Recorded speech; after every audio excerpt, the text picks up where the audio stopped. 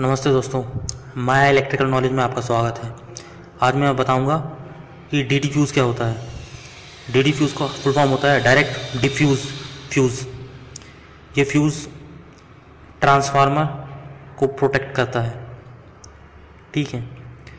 जैसे देखिए, ये ट्रांसफार्मर है, एक तरफ़ एच एच टी साइड है, एक तरफ़ एल टी साइड है। ठीक है? एच टी और एल टी साइड है। ठीक है? इसके बीच ये ब्लैक ब्लैक है ये मैं मैंने इंसुलेटर बताया है उसके बीच में डी डी फ्यूज़ है। डी डी फ्यूज़ की का जो ये तार होता है ये ना कंडक्टर होता है बहुत पतला होता है एज़ कंपेयर टू ये ये वाला इस कंडक्टर से आर वाई भी बहुत कन, बहुत पतला कंडक्टर लेकिन फिर भी पावर फ्लो हो जाती है। इधर से इधर क्यों हो जाती है? इसमें यहाँ पर कोई लोड नहीं होता। इसीलिए ग्यारह हज़ार यहाँ कोई लोड नहीं होता इसलिए पावर यहाँ पर फ्लो हो जाती है। और डी फ्यूज़ क्यों लगाते हैं? यहाँ पर कोई भी कभी भी एक्सेस करेंट एक्स्ट्रा वोल्टेज अगर आ जाए तो ट्रांसफार्मर प्रोटेक्ट हो जाए। इसीलिए डी फ्यूज़ लगाते हैं। डी फ्यूज़ यानी डायरेक्ट डिफ्यूज़ हो जाता है वो।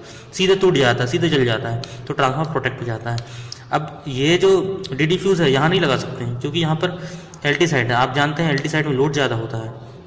इसीलिए डी फ्यूज़ को इधर नहीं लगाते हमेशा इधर लगाते हैं। इसको ये प्रोटेक्शन का काम करता है। फिर मैं बता दूँ आपको जो ये कंडक्टर है आर वाई बी कंडक्टर है, इनके कंपेयर में डी डी फ्यूज़ का तार होता है बहुत पतला होता है। ठीक है? ये हमेशा प्रोटेक्शन का काम करता है। ठीक है? ये पावर इसमें क्यों फ्लो हो जाती है? क्योंकि यहाँ पर कोई लोड नहीं होता इसीलिए पावर यहाँ से फ्लो हो, जा, हो जाती है। अब देखिए ट्रांसफार्मर की रेटिंग के हिसाब से भी इसको लगाते हैं। ट्रांसफार्मर की रेटिंग और डी फ्यूज़ जैसे हंड्रेड के का ट्रांसफार्मर है तो छब्बीस का लगेगा। चार हज़ार के का है चौबीस का लगेगा। छः सौ तीस का है तो बाईस लगेगा। नौ सौ नब्बे का है बीस का लगेगा।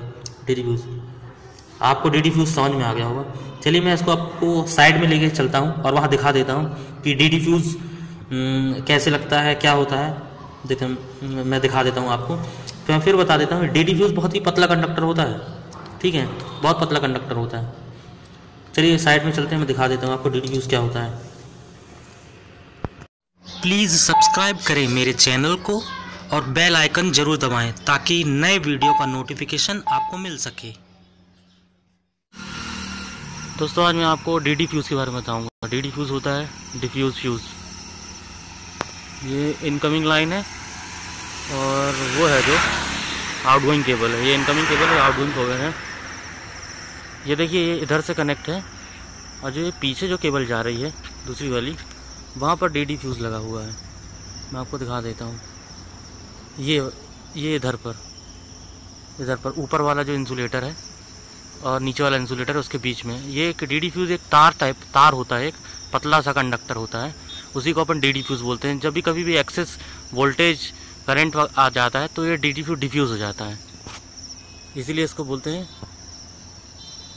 D D fuse direct defuse fuse ये प्रोटेक्शन का काम करता है ये।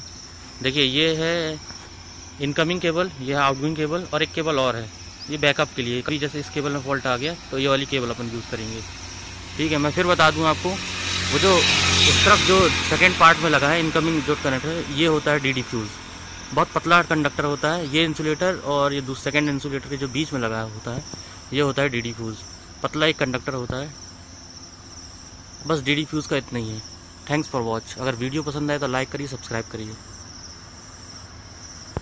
प्लीज़ सब्सक्राइब करें मेरे चैनल को।